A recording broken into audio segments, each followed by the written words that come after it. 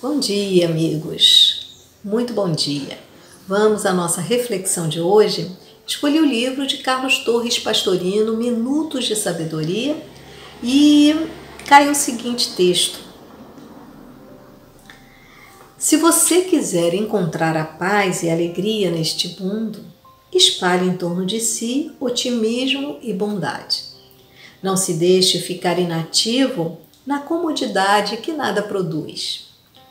É pelo trabalho em benefício do próximo que armazenamos energias a fim de vencer os embates da vida.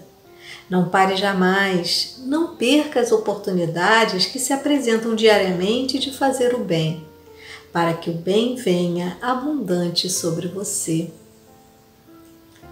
Espalhe em torno de si otimismo e bondade. Esse texto ele nos remete à questão do trabalho, o trabalho no bem, que é uma energia poderosa, porque é a energia do amor em movimento.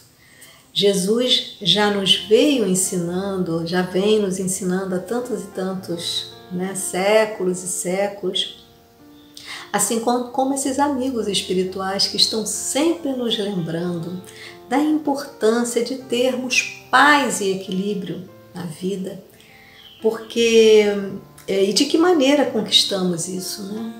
Não tem outra fórmula a não ser através do trabalho, né?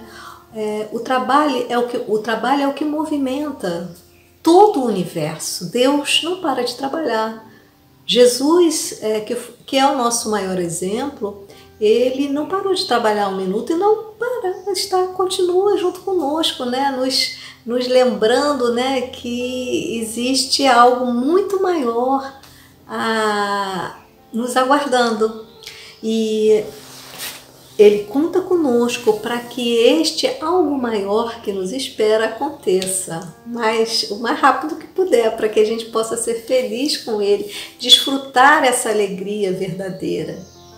Então, amigos, vamos eh, o, trabalho ele é incessante, então todo dia existe uma oportunidade de fazermos algo significativo das nossas vidas. Sempre vai aparecer, porque nós estamos nesse mundo que é um mundo de provas, né? Provas e expiações.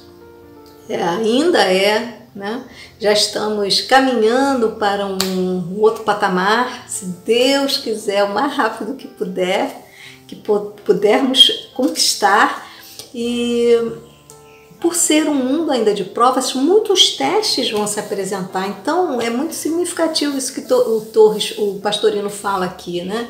Da gente não, não parar um minuto, né? Da gente estar tá sempre observando essas oportunidades que se apresentam e que a gente possa se juntar a elas e, e, e trabalhar trabalhar no bem, porque é uma energia e o primeiro a receber essa energia somos nós mesmos, né? A gente precisa dessa energia para poder viver nesse mundo ah, ainda nessa condição. É a condição que eu falei, que é a condição de, de ainda de muita inferioridade. Mas nós vamos conquistando isso dentro de nós, paulatinamente. E o trabalho ele, ele faz com que a gente tenha essa energia salutar, né? porque é o amor, como eu disse, o amor em movimento. E isso vai trazendo uma ambiência né, que nos faz caminhar nesse mundo é, com mais leveza, com paz, com equilíbrio.